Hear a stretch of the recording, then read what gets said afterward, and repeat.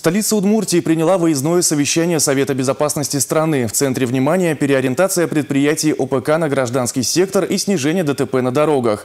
В обсуждении этих вопросов принял участие глава Чувашии. Тему продолжит Дмитрий Ковалев.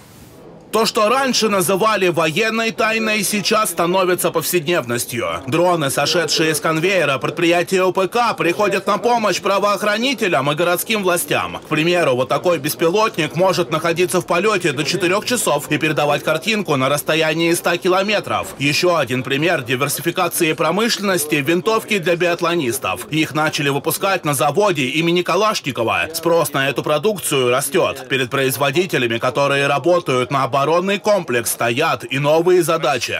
Оборонно-промышленный комплекс обладает высоким научно-техническим и производственным потенциалом. В условиях предстоящего сокращения гособоронзаказа необходимо, чтобы этот потенциал был сохранен, сохраняя финансовую устойчивость и трудовой коллектив.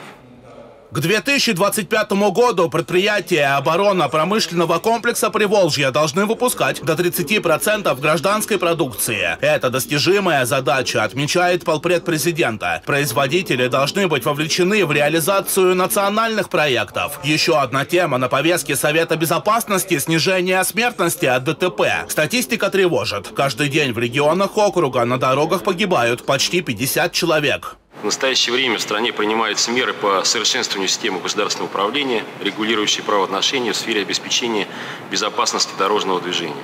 С наличием недостатков транспортно-эксплуатационного состояния улично-дорожной сети, элементов ее обустройства в федеральном округе связаны более трети происшествий, 39%.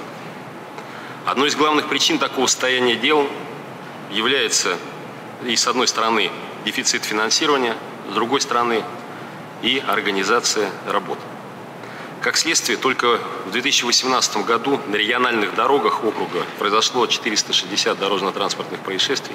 Главные причины ДТП – нарушение правил и агрессивная езда в нетрезвом состоянии. В регионах округа растет и количество аварий, совершенных по вине водителей автобусов. Такие происшествия являются во многом следствием оказания транспортных услуг с нарушениями требований безопасности – перевозок пассажиров с использованием неисправных транспортных средств, без проведения предрейсового технического и медицинского осмотров, а также следствием нелегальных перевозок. Поэтому важно усилить контроль за осуществлением всех пассажирских перевозок, уделяя внимание перевозкам детей. Еще одна важная задача – развитие санитарной авиации, чтобы помощь к раненым прибывала оперативно. Трассы необходимо и дальше оснащать комплексами видеофиксации. Там, где работают камеры, количество ДТП снижается в разы. Михаил Игнатьев отметил, что безопасность пешеходов и водителей для правительства республики – приоритет. Комплексный подход у нас был, есть, и мы дальше с учетом дорожно-транспортных происшествий, с учетом летальных исходов, с учетом разных других аварий, будем вкладывать средства на те точки для того, чтобы безопасность эти места. Это перекрестки, это светофоры, это где больше пешеходов, где общеобразовательные школы. За последние годы сделали многое, но индикаторы обозначены президентом, поэтому в этом направлении мы многое еще должны сделать.